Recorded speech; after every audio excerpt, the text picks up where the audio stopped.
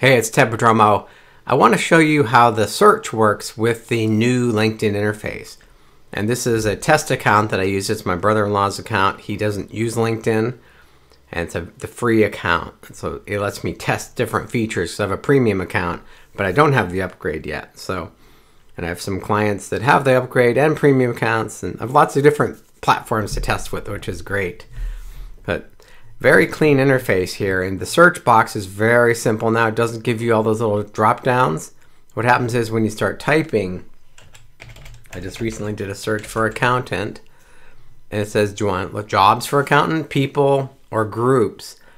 And then it gives you some suggestions here. So this is kind of like the Google, as you start typing in Google, it suggests popular searches. So let's just look at title with accountant. So here we've got 1.4 million results. That's basically everybody on LinkedIn that has the word accountant in their job title. So if I want to filter this, and this is nice because when I was doing the beta testing for the inter new interface, a lot of these search fields weren't here. So this is encouraging that they've added this back in.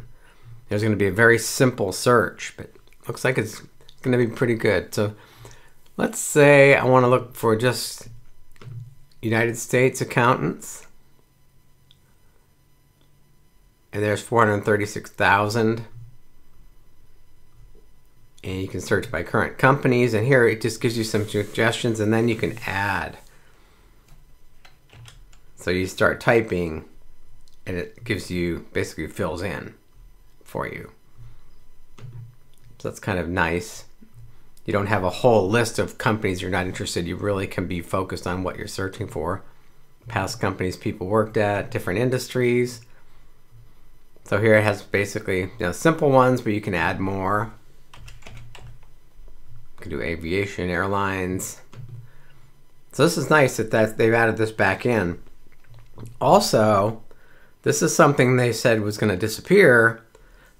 All the advanced search fields weren't going to be available unless you, you know, even if you had premium, you weren't going to have all the things. So this is good. They've added this back in. I think they're listening to people and what they really want from the LinkedIn experience. Because we were saying people are going to be pushed into Sales Navigator if you wanted these extra search fields, but it looks like you can keep your basic LinkedIn account and have the, all these extra search fields. So this is good news. Let's see what they offer for the upgrade for this.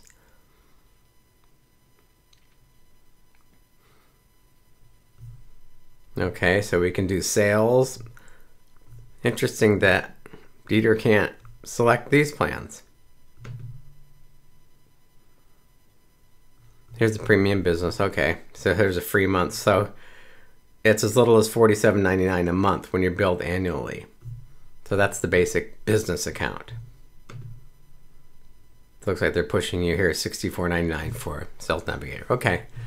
So that's really how the search is working now. This is you know, good news. I've just discovered it's not going to change as much as I thought it was going to be. So if you have a premium account, I would keep it. If you really want to look at Sales Navigator, do a free month and try that out. But in our webinar tomorrow, I will be showing more advanced search features and you see how these have appeared now, different ways to search there. So I'll, I'll dig deeper into the search in the webinar to show you really how to save it. And I just heard from one of my colleagues that the save search will still be available.